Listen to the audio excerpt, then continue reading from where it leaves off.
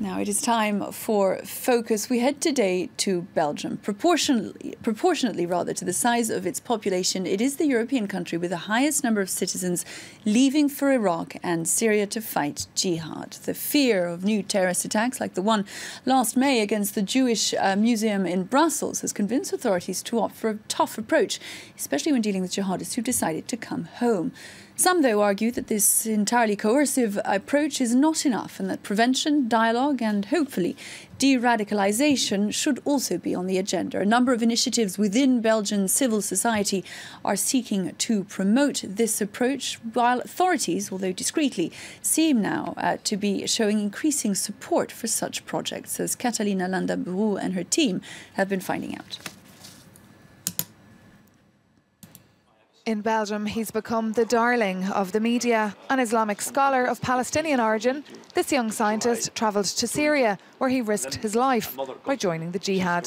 Upon returning, he decided to use his experience for the good and open a de radicalisation centre.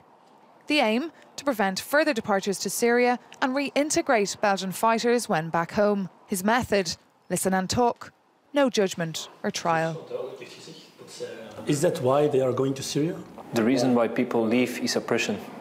Oppression by uh, authorities and government. And so people are getting the feeling that they are not welcome here anymore. If they not change the way uh, the governments like you to be. Upon return to Belgium, Yunus was arrested and sentenced to three years probation. Here, the idea is to help with his reintegration and broaden his horizons. Here he can uh, talk to me. He can, uh, yeah, he can canalize his uh, emotions, his frustrations. He can uh, share his story, and I am just listening. To be honest, I more regret that I am here back than I, than I left. Because I thought I came back and it will be a little bit different or uh, everything will be cooled down, but it's worse. I don't want to be de radicalized because I'm not radical. I find myself orthodox and I find myself fundamental it's not that, that I'm going to change because they are suppressing me. It feeds it, it, it, it makes it stronger. Meanwhile, lawyer and co-founder of the centre, Nabil Rifi, offers legal advice to young people like Yunus, those under permanent supervision by intelligence services. For fear of new attacks, the Belgian authorities have adopted a repressive stance, a method that doesn't help these two men. These people need to be able to talk to someone. They need psychological support. But all this is not provided by the government. That is why we decided to do something about this problem. We also want to help parents, help them learn how to take care of their children and how they can help with the de radicalization of their children. Often considered accomplices as opposed to victims, parents of jihadists sometimes come here to talk, afraid to turn to the police. Initially, I had warned the authorities that my son was about to leave for Syria, and they told me they would follow up on it. But nothing was done. Their explanation was, Mazem, your son was an adult. We parents, we're really stigmatized by the police, as if we had bought our tickets for Syria too.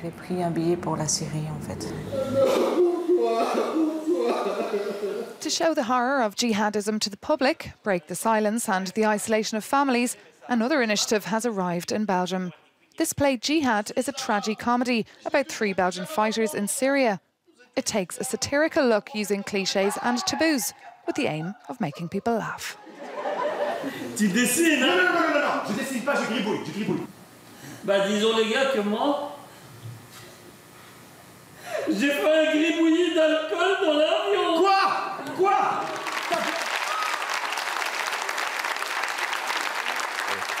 Before we even began the play, some thought this was going to insult Islam. Others thought it would be an apology of terrorism. But the first spectators arrived, they started laughing. The comedy kicks in pretty early in the play. That was a shock for many. These guys are crazy. They're laughing about these topics.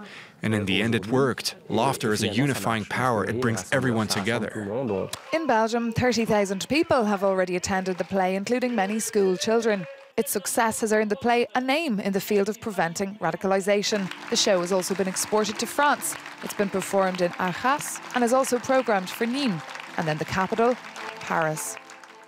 That report from our team of correspondents in Brussels. Well, for more on the story, we can speak now to Abdelassiem El Difraoui, who joins us uh, from Vienna as a researcher here at Sciences Po. Thank you very much, Mr. El Difraoui, for being uh, with us. Now, uh, we heard in that report, of course, uh, other approaches to dealing with the problem. The point is that for now, and many different European countries are faced with this problem of departing jihadis and returning jihadis.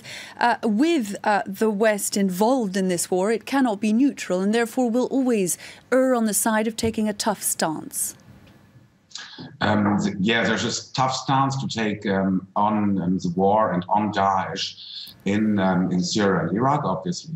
The question is what to do with people who return, who return um, partly disenchanted with jihad, with what they saw there, and um, with other people who return who are fully convinced jihadis and ready to, to commit, uh, commit attacks in Europe. So the first step relating to de-radicalization and to returning to jihadis is to evaluate um, which kind of people these returnees are. Did they fight? Um, did they go there to fight against the um, murderous Assad regime, but they're not fully fledged jihadis, or are there people who returned um, simply to commit attacks? Now, uh, you mentioned the disenchantment with what they found on the fronts of the Islamic State organization uh, from the jihadis who returned. The problem is that many of them were disenchanted uh, with the societies they'd left, and that's not something that's easily addressed. No, that's something which is not easily addressed at all. Um, any kind of de-radicalization um, is a very complex approach. It's in some ways reconciling people with Western societies, explaining them that they can fully live their faith here, and it's offering those people perspectives.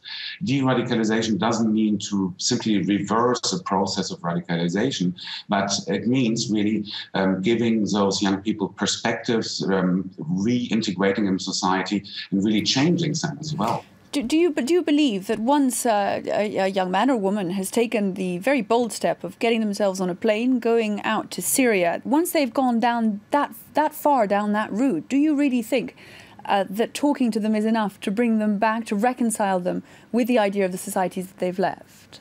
It's um, it's not only talking to them. I mean, de-radicalization means really um, giving them some psychological help, um, giving some, them some spiritual help, giving them help in their daily life to reintegrate schools, um, to find a job, um, um, help their families. And there have been examples of people um, who have been coming back, numerous examples, who have been reintegrated into Western society. So it works. Anyway, there's no alternative to at least trying de-radicalization because we can't lock these people away forever. Some of them have not committed crimes. So um, every European country really needs to work on de-radicalization and on prevention because there's simply no alternative. Of course, part of the problem uh, are resources. Uh, the, the, approach that you mentioned, of course, has to work in uh, connection, uh, in tandem with uh, surveillance because, of course, some of them do have to be watched because their intentions uh, are, are, are, to cause trouble on their return rather than to reintegrate. And the problem is that European uh, societies are finding they simply don't have the resources even to do that. They're trying to find those resources at this stage, and not everybody needs to be surveilled. And there are many civil society initiatives um, in Europe, including Great Britain, where um, accredited mentors follow those people.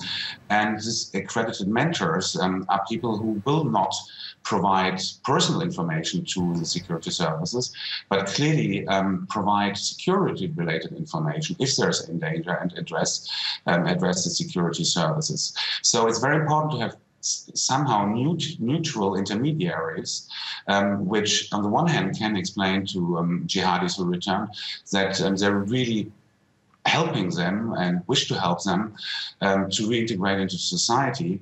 Um, and will protect them to a certain degree from um, very repressive um, security apparatus. Um, but at the same time, explain also that if any kind of security concern comes up, they will clearly indicate this to the, um, to the services.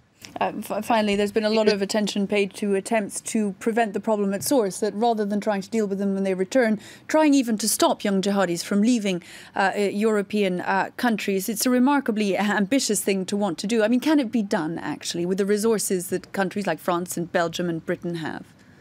Let's let's um, put it this way: not every jihadi can be de-radicalized. Not every jihadi can be prevented from leaving. But um, if we prevent some of them leaving, we might save a lot of lives already. And there have been exact, um, um, successful examples of, um, of um, jihadis being prevented from leaving. I personally met uh, people um, who risked to become jihadis in southern France and who, through psychological following and through counsel, have been prevented from leaving France. Abdelassiem El Difraoui, thank you very much indeed for having been our guest.